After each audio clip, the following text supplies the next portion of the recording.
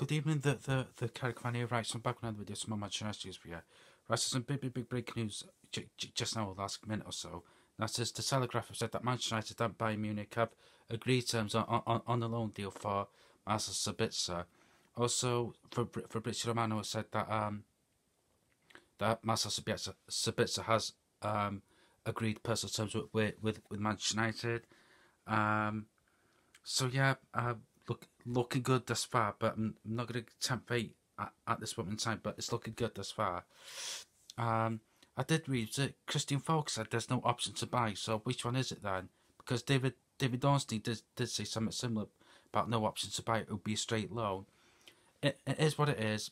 We'll, we'll deal with that in time. At, at least we're getting a, a midfielder in, a very good midfielder in in that as well. So yeah very, very happy. Right, so you can check my new TD fan 2022. Subscribe to my channel, The Carrick Fan, comment below, like the video.